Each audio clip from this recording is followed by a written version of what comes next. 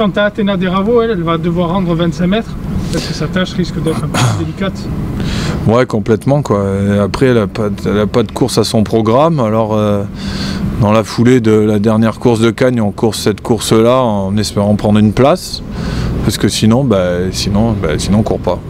La piste de Borelli lui convient, elle aussi, elle a terminé deuxième à l'automne. Ouais, c'est un, un anneau qui lui convient bien, avec un sol euh, assez, assez souple qui, qui lui, qui lui va bien. ouais. D'ailleurs là-bas le déferrage c'est peut-être moins embêtant qu'ici où c'est plus abrasif à Cannes. Exactement, ouais. on défaire plus volontiers à, à Borelli à condition qu'il n'y ait pas de vent, hein, que sinon la piste est forcément ferme, euh, que- qu'à Cagnes où euh, c'est pas la même texture, euh, où certains chevaux euh, s'adaptent pas. D'accord, donc euh, si on résume, Elvis Duvalon pour le podium et Athéna Deravo plus pour une petite place. Voilà.